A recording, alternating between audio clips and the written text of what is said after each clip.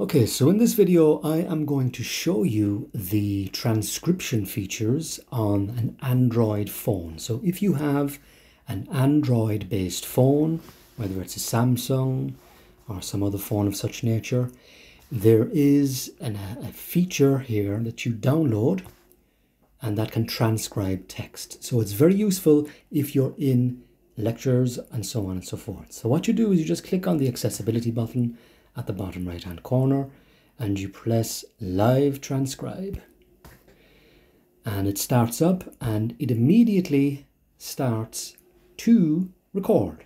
So you just put, put you just put your phone on the table with the microphone in the direction of who you want to listen to. And as you can see, when there's a pause, it automatically jumps onto a new line or a new paragraph and so on and so forth. And now with all transcription features, the quality and the accuracy is dependent upon the environment in which you are, if there is background noise, the diction and articulation of the person speaking is another important factor. And that is basically it. So at the end of the class, then what you can do is you just simply highlight the text, select all, and then you go to copy. And then you can paste it into one of your dictation um, text editor tools, note tools. I'm giving an example here of the Google Keep. So I press the plus and then I simply paste in the transcription of the actual recording.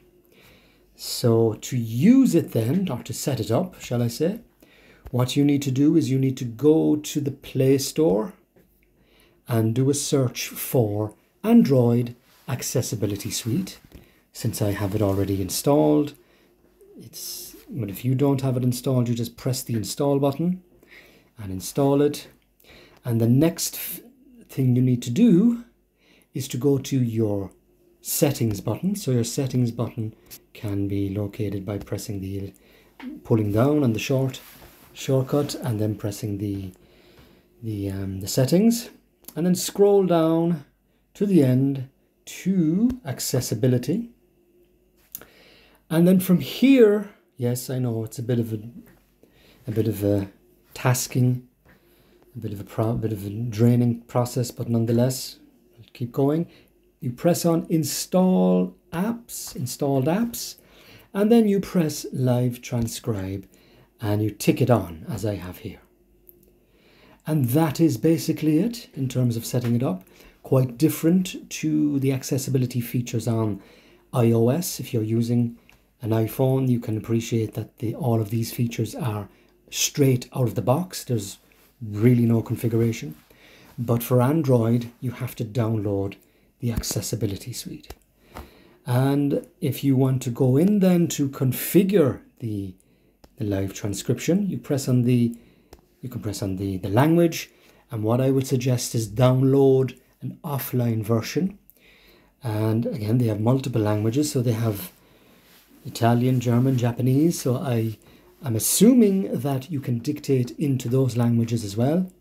So that might be something of interest if you have if you're on Erasmus and your class is in French, for instance, and you're not good at French, you could transcribe and then transfer it into English by using the translate. But I'm harping on a bit too much. If we press the settings button, we can change the text and we can go into more settings and we can go down to custom words. So if you have a lot of um, words that are not in the the shall we say primary English or the plain English. If it's um, scientific words, abbreviations, and specifically to your work or to your um, subject field, then you can add those in. Um, and you can also delete history. It's probably useful once you've transferred it, copied and pasted it out of the transcription. You and pasted it into some other text editor, I would recommend for the purposes of um, of efficiency just to delete the history every few days. And that is basically it. I've just shown you the brief overview of it. And there we are, the live transcribe feature available on Android via the Google Accessibility app. And thank you for watching.